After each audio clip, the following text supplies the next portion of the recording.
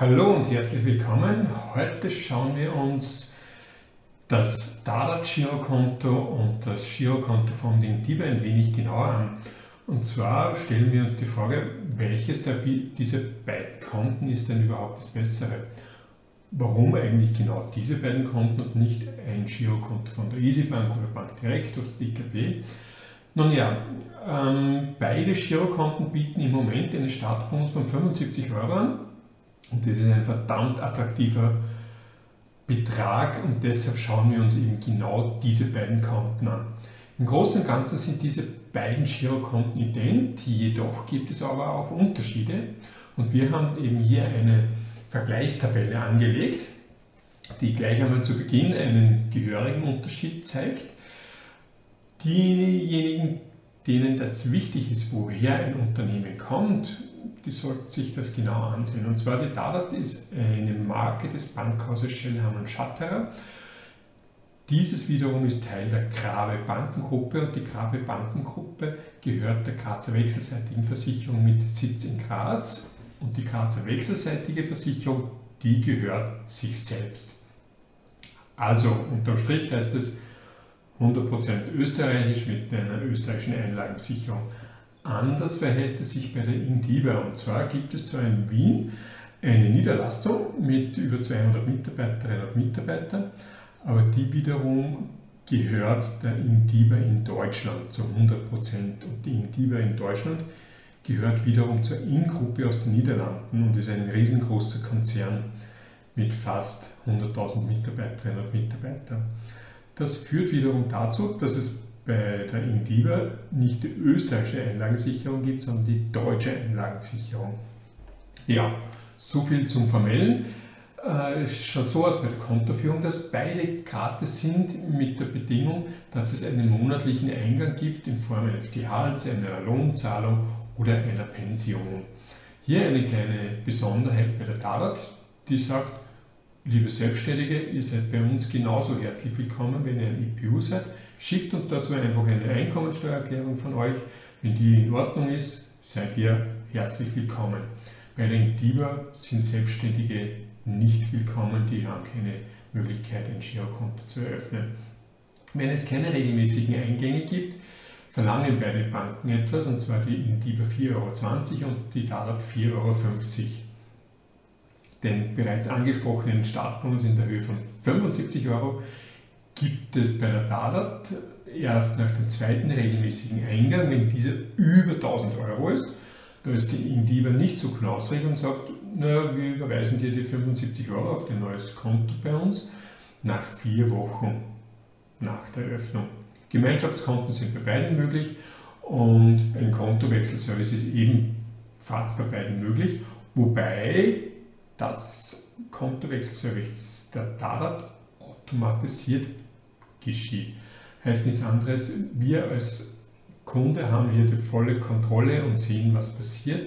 Und mit Hilfe einer Software werden eben sämtliche Lastschriften des alten Kontos ausgelesen und wir können dann sagen, okay, dieses Unternehmen wollen wir informieren, dieses auch, dieses auch, dann bitte noch den Arbeitgeber informieren und am Ende des Prozesses sagen wir dann noch, ja, okay, wir möchten das alte Konto auch noch schließen und der Restsaldo wird dann bitte dem neuen Konto gut geschrieben.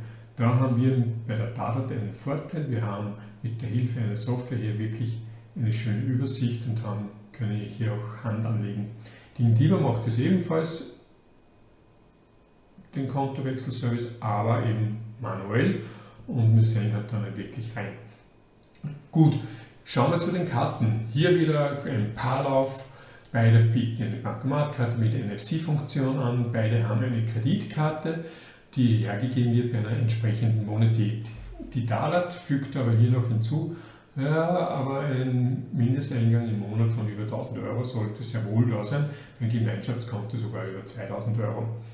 Wenn du ein Gemeinschaftskonto hast und du möchtest eine Partnerkarte, dann schau, dann kostet diese Partnerkarte bei der Dalat 11,90 Euro im Jahr und bei der Indiba um 3,10 Euro mehr, also 15 Euro im Jahr. Die Kreditkarte für den Partner oder Partnerin kostet bei beiden 19,20 Euro, wobei es im ersten Jahr hier eine Aktion gibt. Bei der Dadat ist diese kostenlos und bei der Indiva kostet sie 12 Euro im ersten Jahr. Also hier ein leichter Vorteil bei den Karten, wenn es um Partnerkarten geht, weil diese eben günstiger sind. Bei der Kreditkarte könnte es eventuell bei der Dadat schwieriger sein, diese zu bekommen. Bei den Zinsen wieder ein paar auf 0 Euro Rabenzinsen, das heißt rüber auf Sparkonto bei den beiden Anbietern, wenn man Zinsen möchte. Und bei den Sollzinsen 6,90 Euro bei beiden, wobei bei der Indives hier einen kleinen Vorteil gibt, denn es gibt dieses Ups, wenn Sie nur geringfügig überziehen, dann brauchen Sie für die ersten 50 Euro Überziehung keine Sollzinsen bezahlen.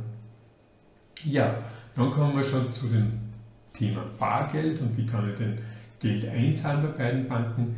Beide Banken sind Direktbanken äh, konzeptioniert. Ähm, das heißt, es wird ein wenig komplexer, wenn es um Einzahlungen geht. Es ist aber durchaus möglich und zwar gibt es die Mama oder die ja, Einlagensicherungsbank ist ja das Bankhaus Schellhahn und Schatterer, die wiederum hat unter anderem am Stephansplatz eine Filiale oder neben dem Stephansplatz. Da können Sie einzahlen oder größere Beträge abheben. Das Ganze kostet Sie dann eben 3 Euro oder Sie verwenden einen von über 60 Volksbankenautomaten. Da können Sie ebenfalls Geld einzahlen und das kostet Sie dann 50 Cent. Die Indiva hat nur eine Filiale am Schwedenplatz, da können Sie aber kein Bargeld einzahlen. Und so sagt die Indiva, naja, wenn du wirklich Geld einzahlen möchtest, dann macht es bei irgendeiner anderen Bank, die werden dafür Gebühren verlangen und wir übernehmen bis zu zweimal im Jahr eben die Erstattung dieser fremden Spesen. Bargeldbehebung ähm, ja, bei jedem Bankomaten. Es gibt ja Limits. Wenn man das Limit bei der Datat erhöhen möchte, muss man das Ganze mit einem Formular machen. Alternativ bei der Intiva geht es bereits über das Online-Banking.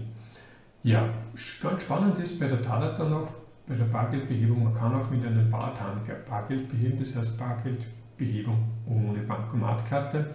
Sieht so aus, dass Sie über das Online-Banking einen TAN generieren und bei jedem vierten Bankomaten in Österreich können Sie dann eben mit Hilfe dieser TAN abheben. Das ist Verwendungszweck könnte so sein, dass eben Ihr Sohn oder Ihre Tochter anruft, äh, Mama, Papa, ich habe kein Geld, könntest du mir eins geben? Dann generieren Sie so diesen TAN, schicken dann per WhatsApp oder wie auch immer dem Sohn oder die Tochter diesen Code und die Tochter, der Sohn sucht sich dann eben einen Bankomaten mit einer Zahl von 4 und kann dann eben mit Hilfe dieser TAN dann dort Beträge bis zu 100 Euro abheben. Dann, was kostet es außerhalb der Eurozone? Hier leichte Vorteile bei der Indiva. 2 Euro pauschal bzw. bei der äh, Dadat 1,82 Euro fix plus 0,75 des Betrages. Und am Point of Sale bezahlen kostet 1 Euro flat bei der Indiva und 1,09 Euro plus 0,75 bei der Dadat. Beim Banking oh, ist es bei beiden Banken ein bisschen, hm, naja, würde ich mal sagen. Und zwar, ich halte vom Online-Banking der Indiva nicht so viel. Es ist absolut rudimentär, man kann zwar alles machen, aber naja. Die Smartphone-App ist ein wenig schöner und da haben wir den Nachteil bei der Dadat, da gibt es noch gar keine Smartphone-App. Äh, da muss, müssen wir uns noch gedulden bis zum Herbst 2017. Was aber sehr wohl möglich ist, Sie können über einen Webbrowser am Smartphone das Online-Banking der Dadat verwenden. Ansonsten ist das Dadat Online-Banking wirklich 1A. Sie haben dort Push-Notifications, Sie können zum Beispiel den QR-Code scannen, Sie können Überweisungen äh, als Vorlage abspeichern, was zum Beispiel Intiba nicht möglich ist im Jahr 2017, sondern es gibt nur die Überweisung einer Kontakte. Ähm, und was mir sehr gut gefällt, ist das Thema Statistik.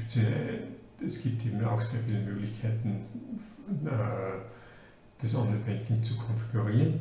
Das ist bei der Dadat sehr, sehr umfangreich. Äh, das, wenn Sie mehr über die Statistiken wissen möchten, dann würde ich Ihnen sagen, schauen Sie auf Gratiskonto eben bei den Details zum Dadat Girokonto. Da zeigen wir eben ein paar Statistiken dieser Bank her. Kontoöffnung bei beiden online, wobei das eben bei der Dada schneller funktioniert dank Video-Identverfahren. Äh, bei Intira dauert es über das Fremdkonto überweisen oder vielleicht sogar noch Postweg deutlich länger. Was mir persönlich weniger gut gefällt, ist eben das Thema Obligo-Abfrage beim KSV 78. Wer bei der Intiva ein Girokonto öffnen möchte, der hat automatisch beim, automatisch beim KSV später dann einen Eintrag zur Obligo-Abfrage. Das heißt, wenn da ein anderes Unternehmen rein sieht, sieht sie eben diese KSV-Abfrage. Andere Produkte, da sind sie ähm, ebenfalls bei der Dadat ein bisschen besser aufgehoben. Äh, sie haben eben bei beiden ein Sparkonto, ein Wertpapierdepot gibt es eben bei den Intiba nur in Form eines Fonddepots. Konsumkredit haben beide, wobei das bei der Dadat nur über die SWK-Bank läuft. Immobilienkredit könnte man über die Schwesternbank der Dadat der Bank Burgenland machen. Wertpapierdepot ist äußerst umfangreich bei der Dadat, denn sie haben dort die Chance, dass sie Fonds kaufen, Aktien kaufen, CFDs kaufen, ETFs kaufen und andere Produkte. Wirklich ein umfangreicher Broker.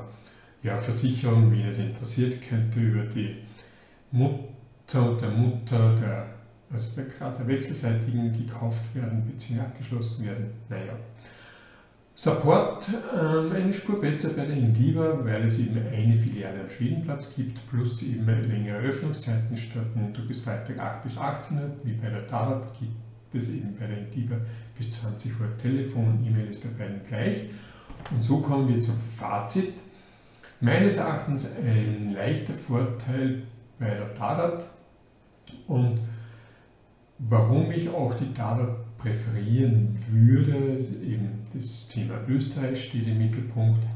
Und es gibt nämlich so Aussagen bei der Indiva, die irgendwie darauf schließen lassen könnten, dass das Gratiskonto vielleicht irgendwann ein Ablaufdatum hat. Denn der CEO der Indiva hat so ja, schon ein bisschen was angedeutet und zum 1.6.2017 ist eine Umstellung passiert, dass bei Neueröffnungen ganz gleich, ob regelmäßiger Eingang oder nicht, wird zuerst 4,20 Euro abgebucht und dann bei einem monatlichen Eingang wieder gut geschrieben. Und die Ingiber spricht von einer Stattung dieser Gebühren bis auf weiteres.